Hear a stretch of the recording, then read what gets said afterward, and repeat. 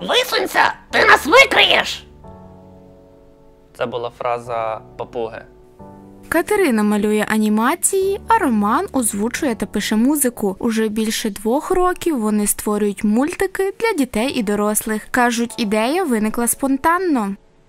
оскільки в нашому житті виникало багато різних кумедних ситуацій, якихось смішних випадків і е, просто жартів, які ми хотіли ну, залишити в історії, можливо, якось запам'ятати і поділитися ними з іншими людьми.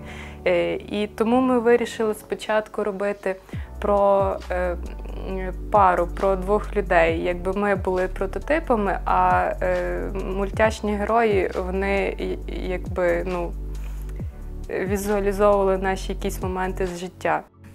У своїх мультиках вони руйнують гендерні стереотипи та расову дискримінацію. Зараз пара працює над новим сюжетом.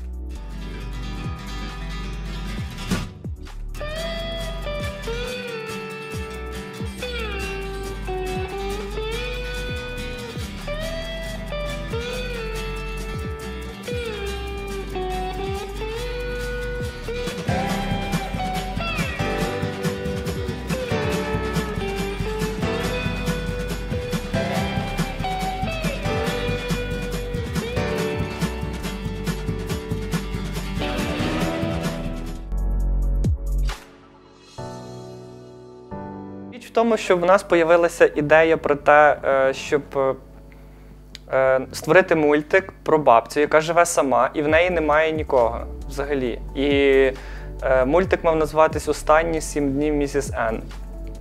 Це мала бути така собі трагічна історія, яка б викликала почуття суму, жалю е, і так далі. Ну, основна е, суть в будь-якого е, творчої, будь-якої творчої роботи це викликати якусь емоцію. І в даному випадку це мала бути емоція суму. Е, от, і вона мала.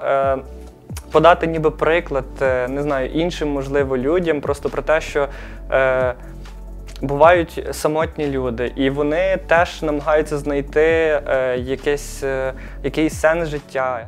Спеціально для файного ранку Роман показує процес озвучки нової серії. Висунься, ти нас викриєш! Це була фраза папуги, якого досі немає імені, до речі. Ем, Я теж хочу подивитися, що тут коїться. Чи куди ми приїхали, чи що там, немає різниці. Ось так. Це був голос собаки. Е, Він називається Морфей. Е, Я не впевнений, що ми е, його ім'я десь згадували в мультику, але якщо щось, він називається Морфей.